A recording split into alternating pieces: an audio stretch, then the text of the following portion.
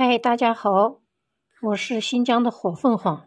看我面前这些小多肉，我们办公室的一个小美女养的，六十块钱买了二十盆，有几盆让别的同事搬到别的办公室去了。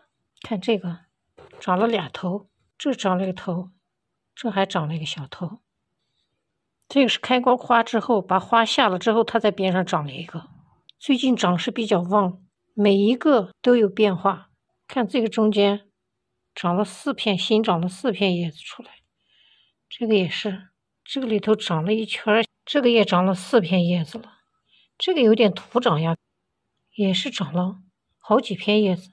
拿来的时候只有这么长，上面一节全是它长的。这个长势太好，也不知道这是什么什么品种，叫什么名字也叫不来。反正这一堆小小的小花盆里头，小鼻子小眼的，天天看着见长。刚拿来时候红红的，现在颜色已经退了。这个也是，这个多肉呢，就是要干着养，不能太湿了。太湿了的话，它根子就容易腐烂。这盆特别小，小小的，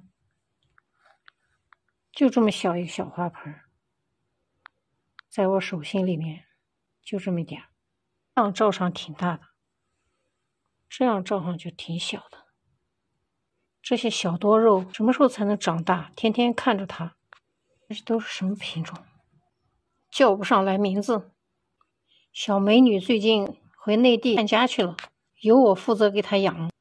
我发现我给她养的挺好的，也是要见干见湿，看它盆土干透了就可以浇了。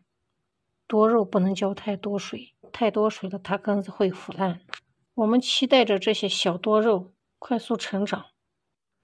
这期视频就给大家分享到这儿，谢谢大家观看我的视频，下期再见。